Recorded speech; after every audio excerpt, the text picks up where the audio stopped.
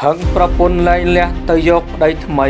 ដុតបំផ្លាញរោងចក្រមួយត្រូវសមត្ថកិច្ចខត់ខ្លួន សមត្ថកិច្ចខេត្តកំពង់ស្ពឺបានខត់ខ្លួនបរិសម្នាក់ដែលលួចដុតអតីតទីតាំងរោងចក្រផលិតអាល់កុលនិងកែច្នៃសារធាតុញៀនដែលស្ថិតនៅភូមិដបងវិញភូមិសង្កែសាតបស្រុកអូរ៉ាល់ខេត្តកំពង់ស្ពឺ នៅព្រឹកថ្ងៃទី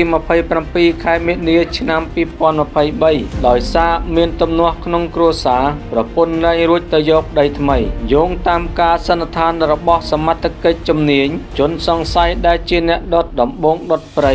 បន្ទាប់មកចូលទៅដុតរថយន្តក្នុងរោងចក្រហើយជនសង្ស័យបានកិច្ចខ្លួនចូលព្រៃបាត់បន្ទាប់ពីសមត្ថកិច្ចជួយអន្តរាគមន៍ទីតាំងអគិភ័យឆេះរួចហើយ សមត្ថកិច្ចបានកំណត់មុខសញ្ញានិងបានឈានដល់ការខាត់ខ្លួនជនសង្ស័យម្នាក់អាយុ24ឆ្នាំស្នាក់នៅភូមិដំបងវិញឃុំសង្កែសាតោបស្រុកអូរ៉ាល់ខេត្តកំពង់ស្ពឺយកទៅសួរនាំតាមការសារភាពរបស់ជនសង្ស័យឲ្យដឹងមូលហេតុដុតទីតាំងរោងចក្រនោះគឺដោយសារតែមានទំនាស់ក្នុងគ្រួសារលែងលះគ្នាជាមួយប្រពន្ធរួចហើយប្រពន្ធទៅមានប្តីថ្មីទៀតបច្ចុប្បន្នជនសង្ស័យកំពុងស្ថិតក្រោមការសួរនាំរបស់សមត្ថកិច្ចដើម្បីកសាងសំណុំរឿងបញ្ជូនទៅតុលាការសមត្ថកិច្ចបានឲ្យដឹងទៀតថាក្នុងអគិភ័យនេះបណ្ដាលឲ្យរថយន្ត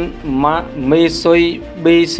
មួយគ្រឿងបានឆេះខូចខាតផ្នែកខ្លះនៃរថយន្តនិងមិនមានអ្នករបួសនោះទេ គួរឲ្យដឹងដែរថាទីតាំងអតីតរោងចក្រផលិតអាល់កុលស្ថិតនៅភូមិដំបងវិញភូមិសង្កែសាតោបស្រុកអូរ៉ាល់ខេត្តកំពង់ស្ពឺក្រោយមកជាប់ពាក់ព័ន្ធការកែច្នៃសារធាតុគីមីផ្សំបំលែងជាគ្រឿងញៀនរាប់តោនដែលតុលាការបានរឹបអូសជាសម្បត្តិរដ្ឋតាមរយៈសាលដីកាស្ថាពររបស់តុលាការកំពូល សាកលវិទ្យាល័យអាស៊ីអឺរ៉ុបជំរឿល្អបំផុតសម្រាប់ឱកាសការងារ RA7 ស្ដែងចេញនៅភាពទាន់សម័យ